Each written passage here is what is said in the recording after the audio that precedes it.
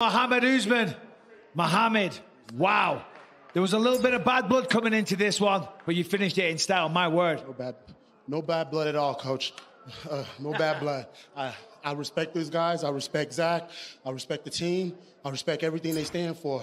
At the end of the day, I found a group of coaches and, and teammates that, that believed in me, that, that knew who I was as a person, as a human.